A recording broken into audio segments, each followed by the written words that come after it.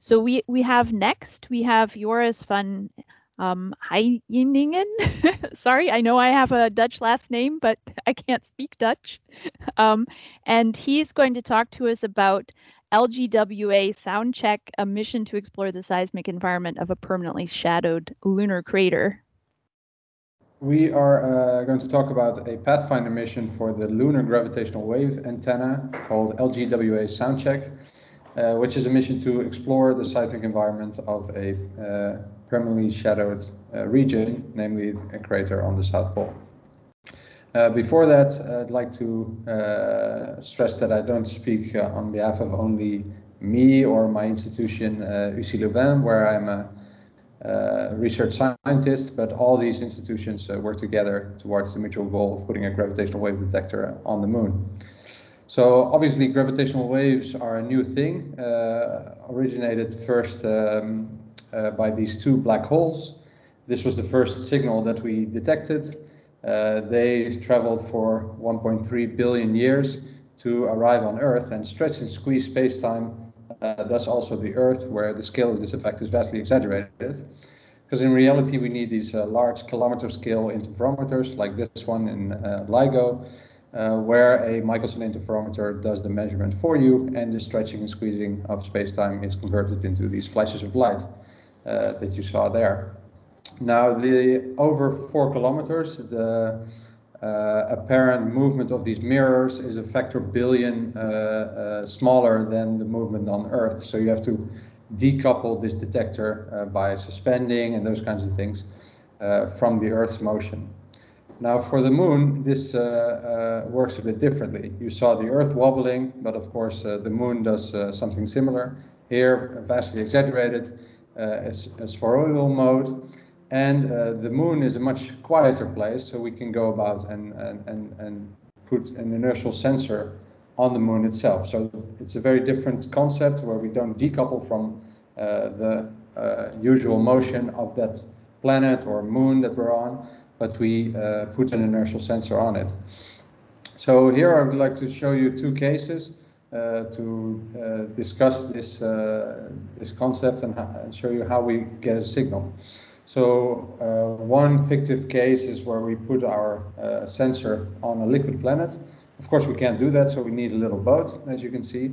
But if a gravitational wave uh, stretches and squeezes this uh, liquid planet, then uh, this liquid planet will just follow along with the changing gravitational wave potential because it has no shear modulus. Um, the suspended uh, proof mass inside your inertial uh, inertial sensor uh, also follows along with this uh, with this changing gravitational potential. So uh, in effect, because an inertial sensor measures the uh, differential displacement between the frame in which you suspend the proof mass and the proof mass itself, you will not measure any signal. So how does that work for a solid planet, or in this case, the moon? Now, the stiffness of the moon itself uh, uh, will, uh, yeah, will make sure that the moon doesn't uh, follow along with the changing gravitational wave potential, uh, but it uh, yeah, resists it a little bit. So it has some sort of elastic, elastic response to that. however, the proof mass does move along with that changing gravitational potential, Therefore, um, you you won't get uh, uh, you won't get what you what we saw in case one, and you will actually get a signal. So what's our plan then? Um, here you see the moon, but let's make it a little bit clearer. Uh, the stretching and the squeezing of the moon, we intend to put an array of these inertial sensors uh, on there. And we intend to do so on um, on the South Pole in the permanently shadowed uh, regions. Uh, for example, the purple regions here, they're all natural cryostats below 40 Kelvin. And that will help us a lot because uh, inertial sensors are typically very yeah, susceptible to changes in temperature and uh, a low temperature will also generate a low thermal noise, which is for the frequency region that we're interested in, interesting. So this was uh, this concept was published uh, last year uh, in this paper here, and we, as you saw already from the from the um, uh, slide with all the logos. We're a growing international uh, community and we would like to grow even more. So if you want to join, uh, please send me an email. So about our sensitivity, um, I would like to build up this graph uh, uh, together with you. So here you see frequency on the horizontal axis from a millihertz to about a hertz. Um, and you see a, a line drawn here, which is the sensitivity of my inertial sensor. And typically that uh, sensitivity uh, has the diagonal uh, determined by the uh, level of the thermal noise and the horizontal uh, right about here uh, determined by the readout noise. this could be an interferometric readout or a squid readout as we will see later. But the, the inertial sensor is only one part of the detector because if we add the moon, uh, then we get a sensitivity to, to strain, so this stretching and squeezing um, caused by the gravitational waves. So the moon also has some resonant behavior, uh, uh, uh so where uh, frequencies at which the moon uh, likes to be excited, and these will give us extra sensitivity. So that's what you see here, these notches in this graph. Um, and we can compare this to other gravitational wave detectors that are planned uh, for the future uh, to be operational in the second half of the next decade, so 2035 or so, uh, which is LISA, which is uh, three satellites uh, revolving around each other. Uh, they are two and a half million kilometers apart and will experience the same stretching and squeezing which can be detected and the Einstein telescope, which is the next generation of terrestrial uh, gravitational wave detectors uh, that will be built in, in Europe. And you can see they uh, leave open this gap uh, in what we call the decihertz band, so the band from 100 millihertz to about a hertz. Uh, and the lunar gravitational wave antenna can, can fit right in and, and bridge this gap. So now we look a little bit more on how such an array would look like. So here we see uh, the crater in which we uh, want to deploy. Uh, this could be of arbitrarily large range as long as it makes this uh, large size, as long as this makes uh, uh, a place where we can put this kilometer size array. So we see that we have four seismic stations, one in the middle going to three. Um, and in the beginning, in, in the middle, there's this central station because now that we're in a uh, if we want to have a long-term mission uh, and we are in a in a permanent permanently shadowed region, then we need some sort of powering. Uh, one of the um, uh, solutions that is proposed is putting solar panels on the edge of the uh, crater and then uh, microwave beaming it down. But these are all technologies that need to be developed. So if we zoom in on one of these seismic stations, uh, we can see what an example of what we what we could find inside. So here you see, uh, like I said, some sort of uh, frame uh, in which a proof mass is suspended, and then uh, with, for example, a, uh, a squid readout and maybe another larger range readout called RASNIK that we shall see more about later. Um, that makes sure that uh, uh, we can get a clean signal out of this uh, out of this system. these actuators are superconducting coils, so they rely on an even colder temperature than 40 Kelvin, but 40 Kelvin is a nice starting point. Uh, and that's why we need this uh, very low vibration absorption cooler um, that I won't go into detail uh, in, other than that it's flown to Mars and is now being developed for gravitational wave uh, detector research facility in Maastricht. Um, but something that we want to get out of the Pathfinder mission is, of course, uh, getting acquainted with deploying these kinds of uh, seismic stations, but also we'd like to get a better uh, seismic measurement of the lunar surface, because the best seismic measurements that we have is uh, uh, from the Apollo missions. Here you see in the decihertz band um, uh, you see here these, these, dotted lines, and these are the lowest uh, spectra that you will ever measure on Earth. So you can already see from the measurements that, that has been done on, on the moon that it's a lot quieter there. However, this is the sensor noise of the sensors that were put there, so we don't actually know how low it is. Some, some models uh, suggest that it's uh, uh, more in the region of uh, 10 minus 12, 10 minus 13 meters per hertz. But we would like to know that. So here you can uh, see that uh, we are developing this uh, Raswatt sensor that will um, yeah, be much better than the commercial sensors that are available uh, and hopefully also better than the VBB, which is part of the Farside seismic suite, which will be um, uh, deployed in uh, two or three years. So this is with the technology um, that will reach 5 picometer per root hertz, and in the future we hope to reach 1 picometer per root hertz.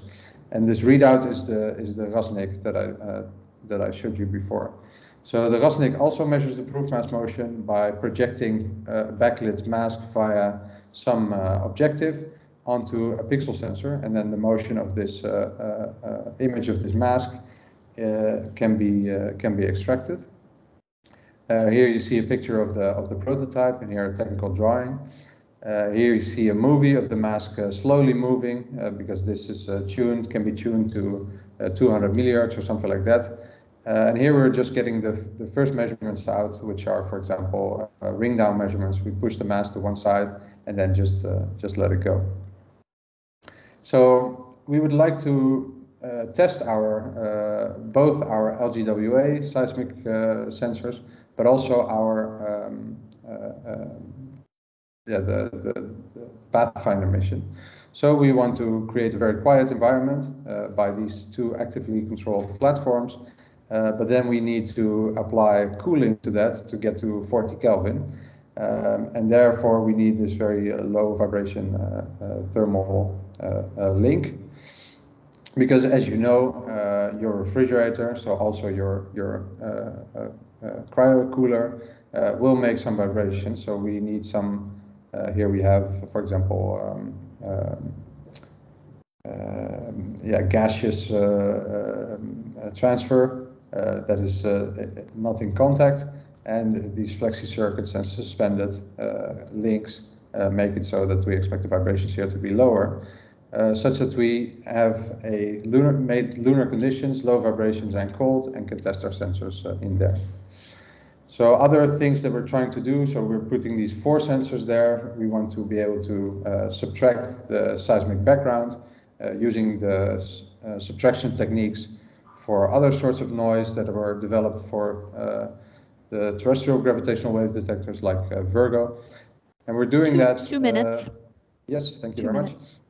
Uh, and we're doing that on the on the slopes of Etna because there uh, the uh, soil is very um, yeah looks a lot in certain ways like the moon regolith. so we can not only subtract the seismic background, but also uh, uh, yeah, subtract local events rather than global uh, events that are local events like impacts of meteors or something like that, and rather than global events like gravitational waves. So one thing about the science that we can do, one plot that I wanted to show you was uh, multi-band observations. So again, you saw LISA and uh, and in this case also the Cosmic Explorer. So that's the one that is going to be built in in uh, America. And there you see uh, certain sig uh, signals of uh, inspirals, so two objects getting closer to each other and uh, merge. So for example, you see the uh, binary neutron star that in 2017 showed us where gold was, for example. We can we can already early warn much better, so we can tell conventional astronomers where to look.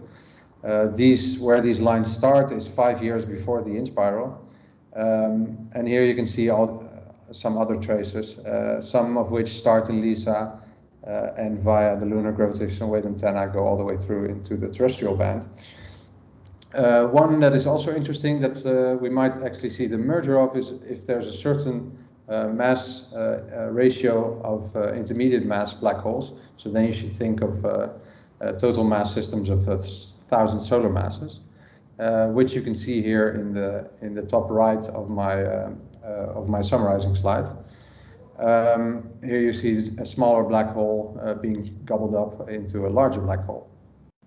So I'll uh, I can uh, I'll leave this one up for you to read. One thing that I would like to stress is that with such sensitive um, inertial sensors, we can do much more than measure gravitational waves. We can look more at the interior of the moon, perform ge uh, lunar geophysics, but also uh, when our uh, goals are met, uh, we can start thinking about uh, lunar prospecting, looking at helium-3 or rare earth metals that we can find into the moon, even with an active campaign where our usually on Earth you do that with TNT and explosions. Here you can uh, make use of the constant barrage of, uh, uh, of, of, meteors. and with that, I'd like to thank you all for your attention and be open for questions. Okay, thank you.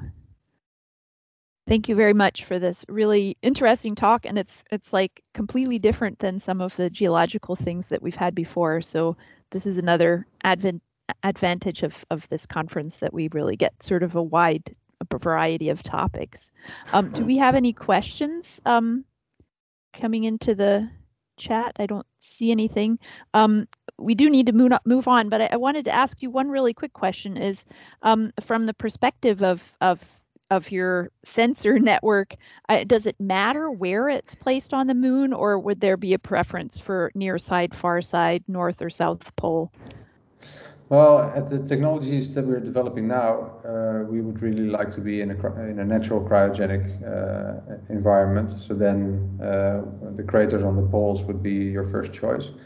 Um, but once those things are underway, if we want to get uh, um, yeah, get a handle on, for example, the polarization of gravitational waves, then we cannot stay in the in those craters. But we also need uh, seismic uh, stations. Um, uh, yeah, on other parts of the moon. Um, I don't know if there's then a preference, uh, but we would have to develop technology that that can uh, provide the same stability um, for that. Okay, super. Thank you. Yeah, very very interesting.